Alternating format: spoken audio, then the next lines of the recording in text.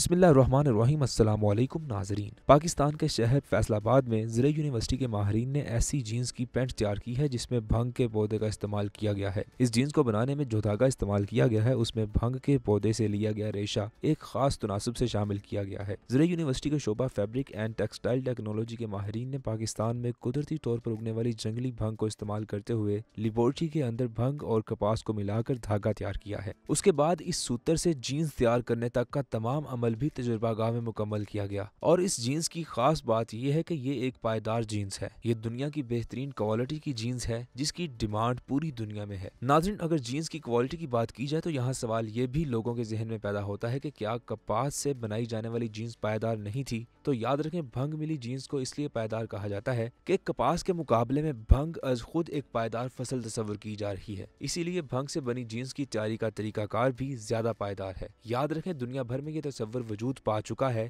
کہ کپڑے کی صنعت آلودہ اور آلودگی پیدا کرنے والی صنعت ہے۔ اس کی وجہ یہ ہے کہ کپاس کی فصل کے لیے بڑی مقدار میں پانی اور کیمیائی کھادوں کی ضرورت پڑی ہے۔ کیڑا کا شدویات اس کے علاوہ ہے اس کا مطلب یہ ہے کہ تیزی سے رونما ہوتی ماحولیاتی تبدیلیوں اور ان سے بچنے کے لیے کیے جانے والے اقدامات کے نتیجے آنے والے دنوں میں کپاس زیادہ مقدار میں میسر نہیں ہوگی۔ یعنی وہ کپڑے کی ضروریات کو پورا کرنے کے لیے ناکافی ہوگی۔ اس لیے وہ پائیدار نہیں رہی۔ اس کے مقابلے میں بھنگ کو نہ تو پانی کی ضرورت ہوتی ہے، نہ ہی کھاد اور کیڑا کا شدویات کی۔ یہی وجہ ہے کہ دنیا میں بھنگ سے تیار کیے جانے والے جینز کی مانگ مسلسل بڑھ رہی ہے اور اس کی سیل سے کروڑوں کمائے جا رہے ہیں۔ یہاں یہ بھی سوال پیدا ہوتا ہے کہ اگر کپاس نہیں تو پھر صرف بھنگ ہی کیوں؟ کوئی اور فصل کیوں نہیں؟ تو یاد رکھیں اس حوالے سے ہم آپ کو بتاتے چلیں کہ بھنگ نہ صرف یہ ایک پائیدار پودا ہے بلکہ اس کے اندر جراثیم کش خصوصیات بھی پائی جاتی ہیں۔ بھنگ کا دھاگا اس کی چھال یا تنے کے اندر موجود ہوتا ہے، اس لیے اسے حشرات یا کیڑے نقصان نہیں پہنچا سکتے اور یہ پودا بارش کے پانی سے قدرتی طور پر اگتا ہے یعنی اسے زیادہ پانی اور کھاد کی ضرورت بھی نہیں پڑتی۔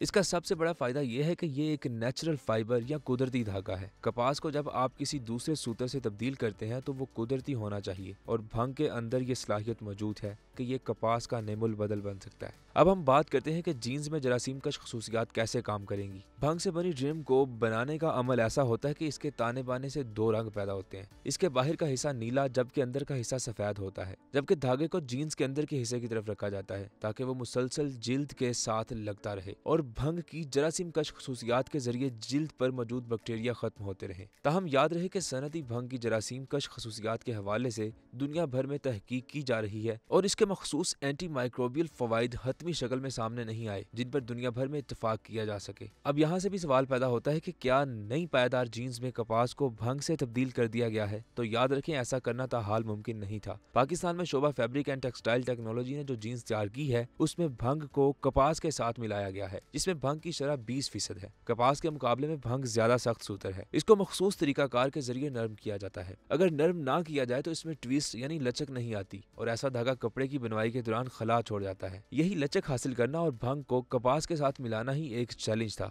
اس کے بعد بھنگ ملا دھاگا حاصل کرنے سے لے کر جینز تیار کرنے تک کا عمل وہی تھا جو عام طور پر کپاس کے لیے استعمال کیا جاتا ہے۔ اب تک بیس اور تیس فیصد بھنگ کو کپاس کے ساتھ ملا کر کام ہوا ہے۔ اس کا مطلب یہ ہے کہ جب آپ کپاس کے ساتھ بیس یا تیس فیصد بھنگ شامل کرتے ہیں تو آپ اسے بیس یا تیس فیصد پائیدار بنا رہے ہیں۔ اب اہم ترین بات کہ بھنگ تو نشہ ہے۔ تو کیا اس جینز میں نشہ آور اجزاء شامل ہے بھنگ یا کینا بیس کو دنیا بھر میں نشہ تصور کیا جاتا ہے، جسے نشوں میں کئی طریقوں سے استعمال کیا جاتا ہے۔ لیکن یاد رکھیں دنیا بھر میں بھنگ دو قسم کا ہوتا ہے، ایک نشہ آور اور دوسرا وہ جو نشہ آور نہیں ہے۔ بھنگ کی ایک نان ٹاکسک ہوتی ہے یعنی اس میں ٹی این سی کی شرح اشاریہ تین فیصد سے کم ہوتی ہے۔ اس کا مطلب یہ ہے کہ یہ کسی قسم کا نشہ پیدا نہیں کرتا۔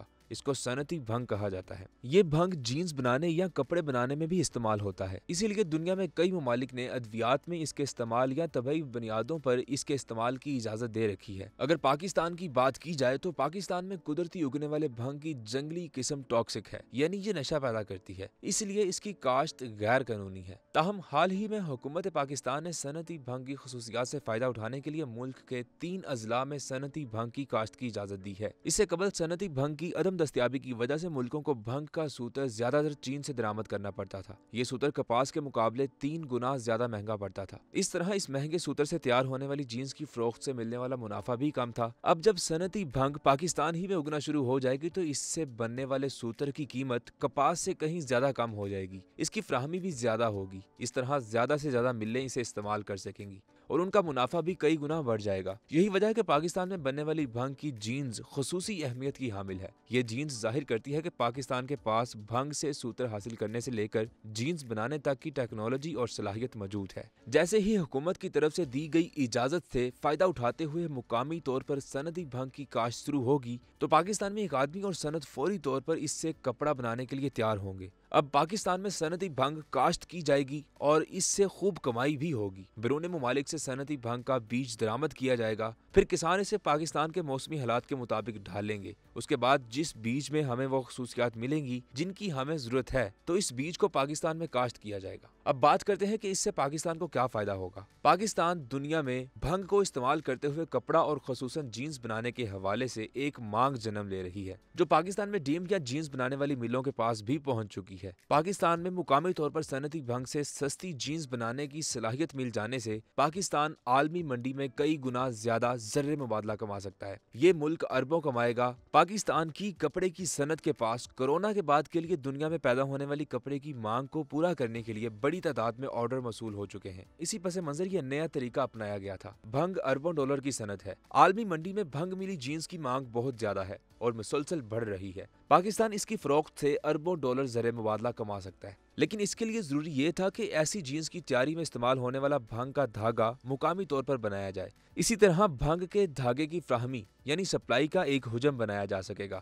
جس سے اس کی قیمت میں کمی آ جائے گی۔ اس سستے دھاگے کو استعمال کر کے پاکستان میں جینز بنانے والی ملز سستے طریقے سے پتلونے تیار کر کے عالمی منڈی میں مہنگی فروخت کر سکتی ہیں۔ امریکہ اور یورپ میں خصوصاً اس قسم کی جینز کی مانگ میں تیزی دیکھنے میں آ رہی ہے۔ مکمل طور پر کپاس سے تیار کی گئی جینز کے مقابلے میں بھنگ ملی جینز کی قیمت کہیں زیادہ ہے۔ ناظرین، دنیا کے بڑے بڑے برانڈز پہلے ہی ٹیکسٹائل کی صنعت میں پاکستان کی بنی ہوئی جینز استعمال کرتے ہیں۔ ایڈیڈوز، نیکسٹ میگنو سمیت بہت سے بین الاقوامی برانڈز ایسے ہیں جن کی فیکٹریاں پاکستان میں ہیں اور یہ پاکستان کے بنے کپڑے دنیا کو بیچ کر بہت زیادہ کما سکتے ہیں۔ ناظرین، آپ پاکستان میں بھنگ سے بنی ہوئی جینز اور اس سے ہونے والی کمائی کے بارے میں جو بھی رائے رکھتے ہیں، ہمیں کمنٹ میں ضرور آگاہ کریں۔ چینل کو سبسکرائب کرنا مت بھولیں اور بیل آئیکن پر بھی کلک کریں تاکہ آپ کو ہماری آنے والی ہر امیزنگ ویڈیو بر وقت مل سکے۔